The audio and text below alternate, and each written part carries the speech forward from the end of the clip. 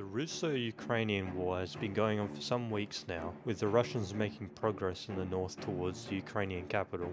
Down south, the Russian general Blanta Isov Tarkovich has been given orders to push his assault finally after weeks of shelling, bombing and skirmishes. The Ukrainian army have been holding steadfast and will now be put to the test. Major General Joseph Frederick of the 54th Mechanized Brigade is aware of the Russian troop movement reported back by the Reconnaissance Cavalry Battalion. He orders the cavalry battalion to stay fixed until the Russians officially cross the river. The 3rd Mechanized Battalion to reconsolidate Vervitsik, the Armor Battalion to move closer to the 2nd Mechanized Battalion, the 1st and 2nd Self-Propelled Artillery to rearrange the front of Vervitsik Russian Major General Mikhail Zinin of the 119th Mechanized plans his assault with other local brigades, the 28th Air and the 75th Armor. The 2nd Mechanized will attack Vervitsik with support by Joint 1st Attack Kilo of the 28th, which will make their way over by sea.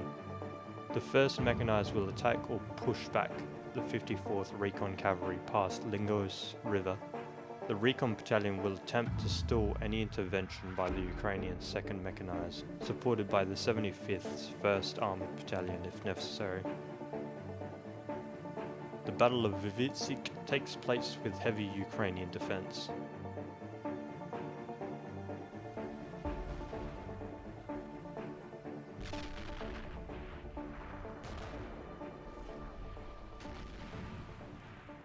Ukrainians have been under constant shelling for several days now.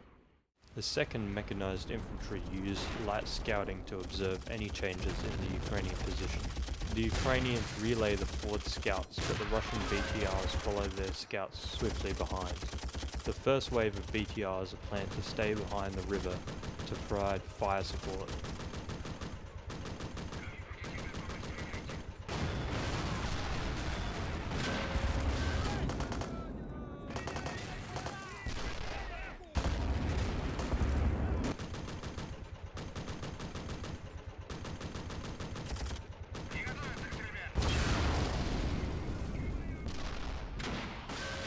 Because of the heavily entrenched positions, the Ukrainians have time to aim shots at the vehicles.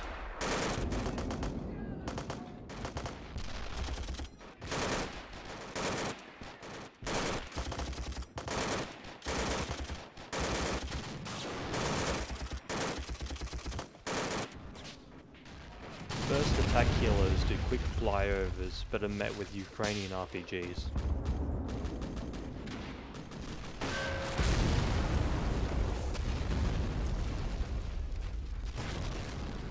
Second wave crosses the river transporting assault infantry, but not many make it across.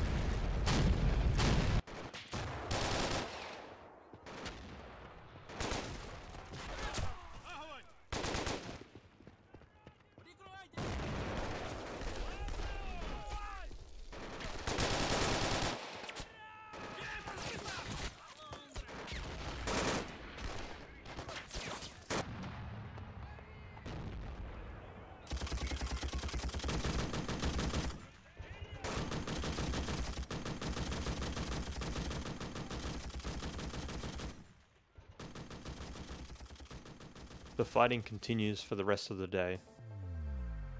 Eventually the Russian forces disengage with the Ukrainian. But maintaining a solid fighting force, they are posed to strike again when necessary. The 3rd Mechanized Battalion reconsolidated at Vivisik